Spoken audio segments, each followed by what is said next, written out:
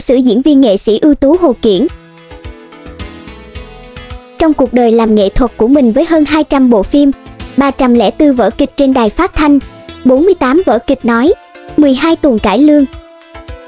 Ngoài ra, nghệ sĩ còn sáng tác 240 bài vọng cổ, 664 bài thơ và các bài về. Nghệ sĩ ưu tú Hồ Kiển đã sở hữu một gia tài đồ sộ mà không phải ai cũng có được. Các vai diễn lam lũ đi sâu vào lòng người, dường như cũng vận vào ông, nên cuộc sống cứ mãi khó khăn, vất vả. Được nhắc tới với cái tên ông già ăn cá sống hoặc ông già Nam Bộ, nghệ sĩ ưu tú Hồ Kiển đã để lại nhiều hình ảnh đẹp trong lòng công chúng. Ông tên thật là Hồ Văn Kiển, sinh ngày 27 tháng 12 năm 1926 tại Phước Long, Dòng Trôm, Bến Tre. Tháng 8 năm 1945, Hồ Kiển vào quân ngũ, trở thành chiến sĩ tiểu đoàn 209 tại Bến Tre.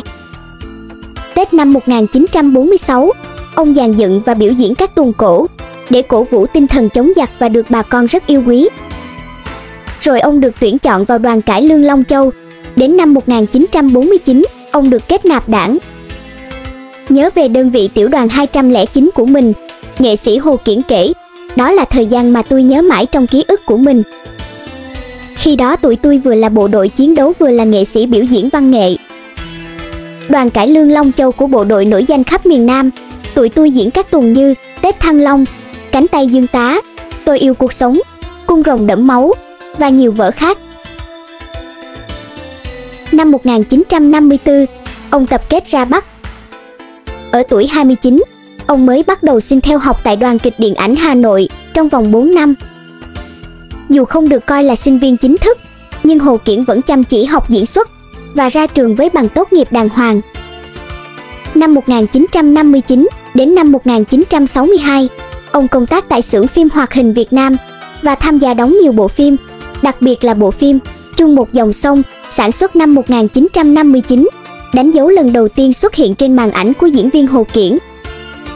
Từ năm 1962 đến năm 1975, ông là diễn viên của đoàn kịch điện ảnh Việt Nam, đoàn kịch nói Nam Bộ. Sau năm 1975, ông về công tác ở đài truyền hình thành phố Hồ Chí Minh cho đến năm 1987 thì nghỉ hưu. Ông từng giữ vai trò chủ nhiệm phim đài truyền hình thành phố Hồ Chí Minh và chủ nhiệm đoàn ca múa nhạc đài truyền hình thành phố Hồ Chí Minh. Tính đến nay ông đã tham gia 208 bộ phim, 304 vở kịch trên đài phát thanh, 48 vở kịch nói, 12 vở tuồng cải lương và vẽ 6 bộ phim hoạt hình. Ngoài ra, nghệ sĩ còn sáng tác 240 bài vọng cổ, làm 664 bài thơ, các bài về 100 loại bánh, 100 loại hoa. Ngoài ra, trong năm 1992, nghệ sĩ Hồ Kiển được bình chọn là diễn viên đa tài, đóng được nhiều loại vai chính diện cũng như phản diện. Đến năm 1997, nghệ sĩ được nhà nước phong tặng là nghệ sĩ ưu tú. Năm 2006, Trung tâm Sách Kỷ lục Việt Nam công nhận nghệ sĩ ưu tú Hồ Kiển là nghệ sĩ đóng nhiều vai phụ trong nhiều bộ phim Việt Nam nhất. Đến với nghề diễn viên từ trước năm 1975, đến nay, nghệ sĩ ưu tú Hồ Kiển đóng qua rất nhiều vai phụ. Nổi bật trong số đó là hóa thân của ông trong những lão nông dân, hiền hòa, với đời sống lam lũ gắn với miền sông nước. Nhiều năm qua, khán giả vẫn hay nhắc đến ông với cảnh ăn cá sống trong phim Những nẻo đường phù sa. Hóa thân thành một ông già nghèo khổ đi trộm cá, bị địa chủ bắt quả tang, ông phải nuốt vội con cá sống dính đầy buồn đất. Đây được cho là vai diễn gây ám ảnh nhất của lão nghệ sĩ, có vẻ ngoài chân chất.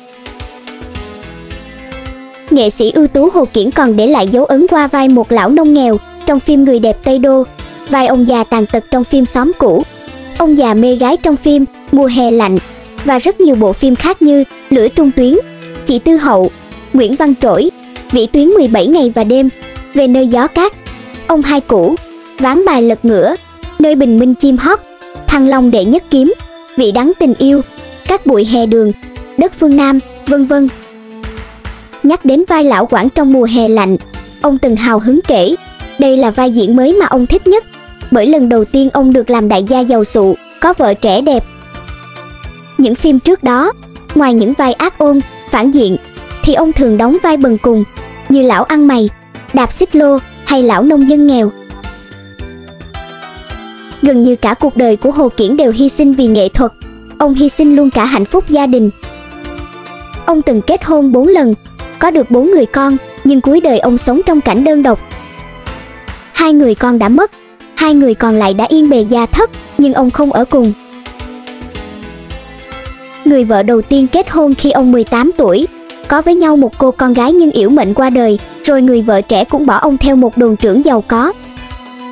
Năm 1954, ông tập kết ra Bắc và có quen biết một cô gái Thanh Hóa và lần lượt sinh được hai người con, nhưng không may một người con mắc bệnh hiểm nghèo rồi mất.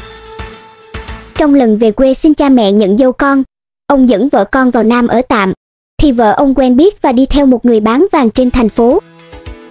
Khi ông ra Cao Bằng đóng phim Rừng Xà Nu và bị tai nạn trong quá trình làm phim, ông gặp một nữ hộ lý người Tày là mẹ đơn thân.